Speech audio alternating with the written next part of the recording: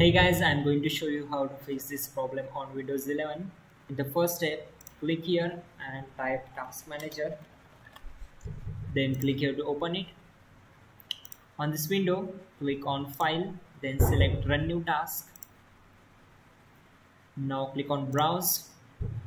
Now go to this PC and then open C drive.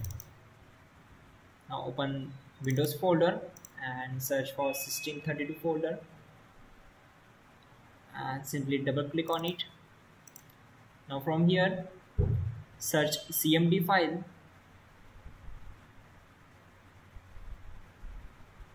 And then select it and simply click on open. Now click here and type dash dash update. Then check this box and click on open. On this window you need to type gp update space slash force and hit enter. This will take some time to complete this process so wait for it. And then just type exit to close the command prompt. Now close this window. And in the last step click here type run. Click here to open it. Then type gpedit msc click here to open it. It will open local group policy editor. Then in the computer configuration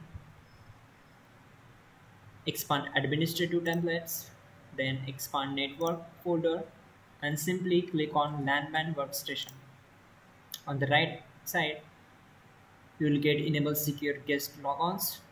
Then double click on it and simply check this box. That is enabled.